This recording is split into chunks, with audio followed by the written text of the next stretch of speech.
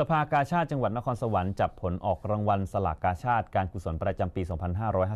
2559 นายธนาคมจงจิระผู้ว่าราชการจังหวัดนครสวรรค์เป็นประธานในการออกรางวัลสลากกาชาติการกุศล ประจำปี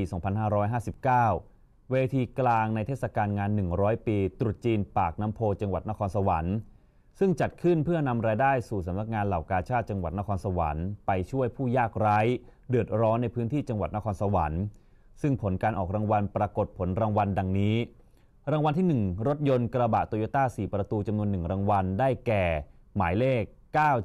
970090 รางวัลที่ 2 รถจักรยานยนต์100ซีซีจำนวน 10 รางวัล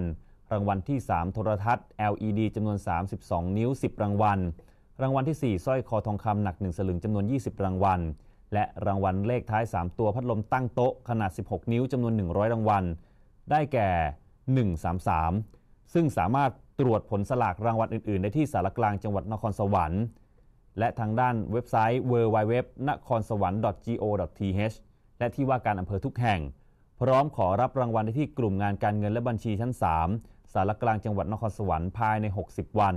นับตั้งแต่ออกผลรางวัล มิฉะนั้นจะถือว่าสละสิทธิ์ ซึ่งผู้ถูกรางวัลจะนำสลากกาชาติการกุศลและบัตรประชาชน มายื่นเพื่อขอรับรางวัล